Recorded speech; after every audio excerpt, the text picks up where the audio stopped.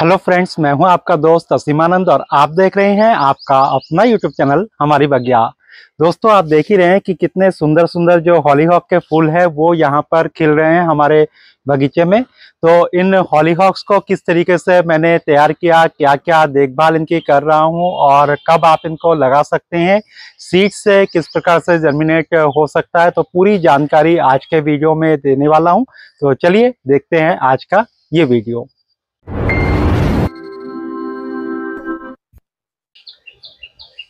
Hello friends मैं हूँ आपका दोस्त असीमानंद और आप देख रहे हैं आपका अपना यूट्यूब चैनल हमारी बगिया।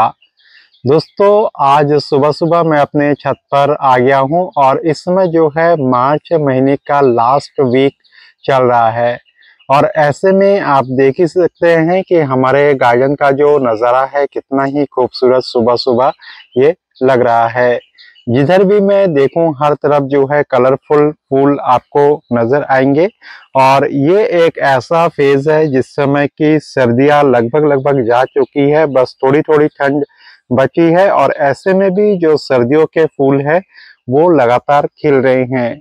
और साथ ही साथ जो गर्मियों के फूल है, वो भी कुछ कुछ जो है अब हमारे बगीचे में होने लगे हैं। गुड़हल की शुरुआत भी इस समय होने लगी है और बहुत सारे जो देसी पिटूनिया हैं, वो भी लगातार ब्लूमिंग कर रहे हैं। लेकिन दोस्तों, आज का जो वीडियो है, वो मैं इन सब चीज़ों पर नहीं करने वाला हूँ। आज का जो वीडियो है, वो मैं खास तौर से करने वाला हूँ हॉली हॉक के ऊपर। या दोस्तों हॉली हॉक्स के फूल जो कि आपको बहुत ज़्यादा पसंद है और बहुत सारे लोग जो है मुझसे क्वेश्चन भी पूछते हैं कि इसको कैसे लगाया जाता है, कब लगाया जाता है, क्या देखभाल करें कि हॉलीहॉक्स में जो है बहुत अच्छे फ्लावर्स हमारे आए। तो दोस्तों, आप देख ही सकते हैं कि इस समय जबकि अंतिम दौर पर है मार्च का महीना तो इसमें पूरी तरह से ब्लूमिंग कर रहे हैं हॉलीहॉक्स के पौधे और फूलों से अगर मैं दिखाऊँ तो ऊपर से नीचे तक पूरा का पूरा जो पौधा है, भर चुका है।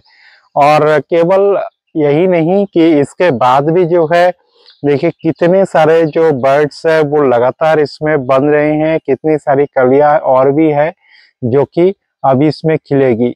इसका मतलब ये है कि ये लगातार अभी भी जो है फ्लावरिंग करती रहेगी और इसमें जो है अभी भी दो ढाई महीने तक जो है फूल इसी तरीके से बने हुए रहेंगे। दोस्तों हॉलीहॉक एक ऐसा पौधा है जो कि बहुत ही आसानी से हो जाता है और बहुत हाइट भी इसकी हो जाती है नीचे से लेकर के ऊपर तक और जितनी हाइट ये बढ़ाता जाता है तो उतनी ही ज़्यादा जो फ्लावरिंग है ये करता जाता है। इसमें बहुत सारे कलर ऑप्शन आपको मिल जाएँगे। इसमें अगर मैं दिखाऊँ तो मेरे पास यहाँ पर आप देख रहे होंगे कि ये वाला जो है, कुछ लाइट पिंक है। उसके बाद इससे थोड़े से डार्क में इधर ये वाला जो पौधा है, ये आता है। और अगर मैं इधर दिखाऊँ तो इधर वाला थोड़ा सा उससे और ज़्यादा डार्क कलर में आता है।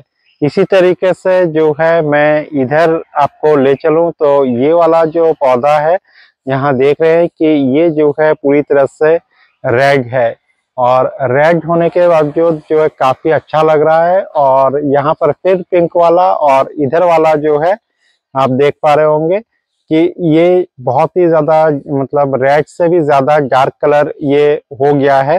तो कलर चेंज होता रहता है अलग अलग कलर के पौधे जो आपको मिलेंगे यहाँ पर मैं अगर दिखाऊँ तो देख सकते हैं ये वाला बिल्कुल व्हाइट वाला आपको नज़र आएगा। तो व्हाइट में एक ही पौधा यहाँ मेरे पास आया है और इसमें भी फ्लावरिंग की बहुत अच्छी शुरुआत हो चुकी है।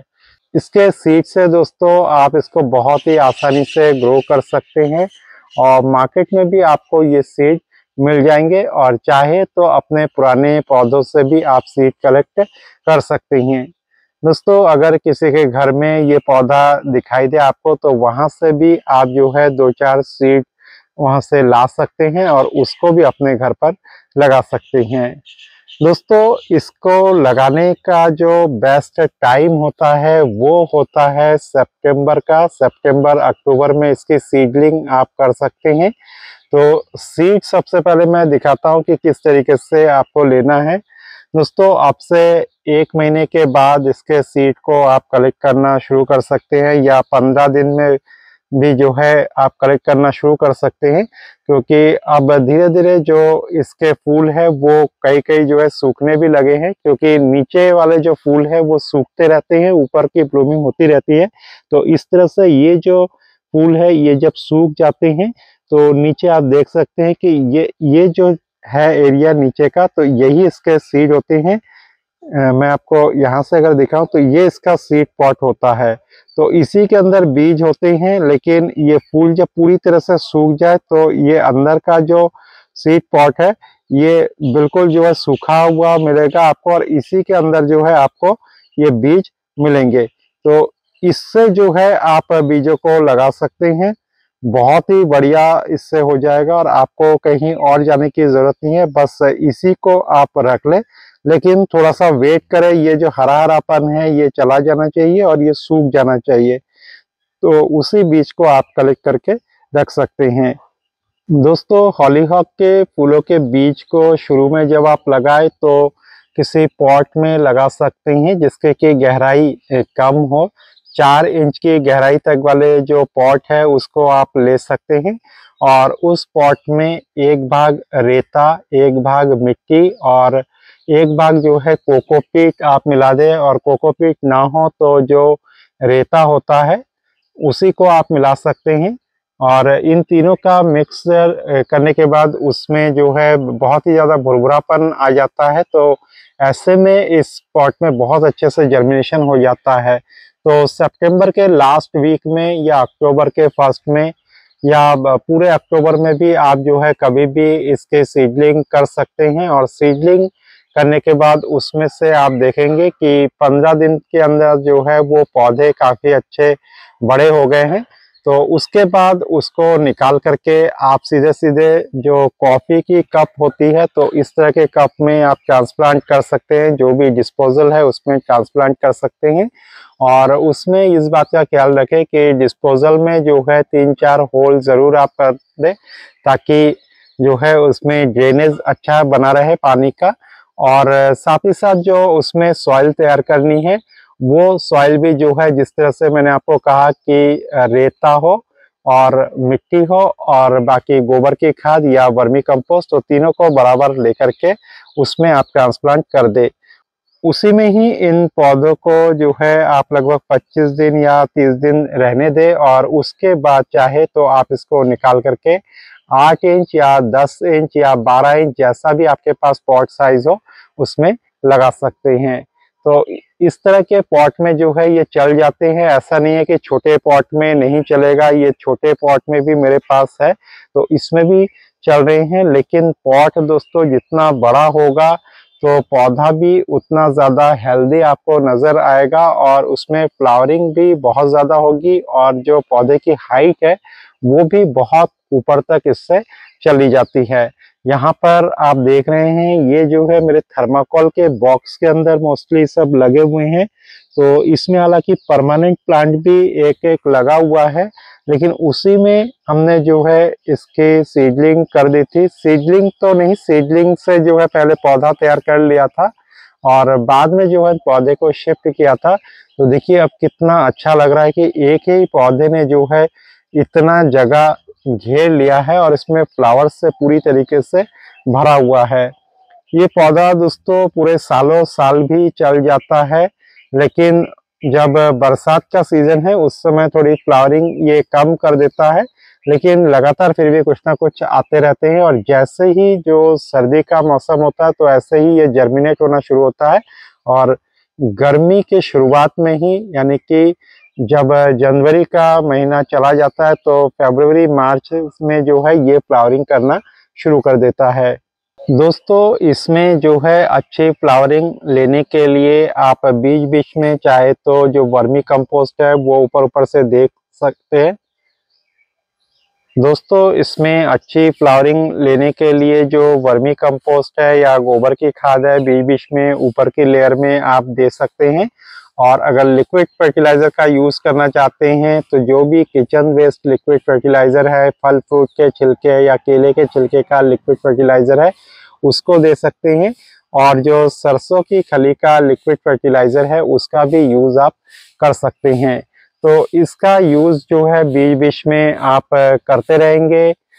हर हफ़्ते एक बार तो आप देखेंगे कि पौधा जो है, बहुत ज़्यादा ग्रोथ ले रहा है और बहुत अच्छी फ्लावरिंग इसमें हो रही है। और इसके फ्लावर्स जो है, टिके भी रहते हैं। ऐसा नहीं है कि एक दिन में गिर जाएँगे। कई कई दिनों तक इसमें फ्लावर टिके हुए रहते हैं, जिससे कि पौधा पूरा भरा भरा सा लगता है।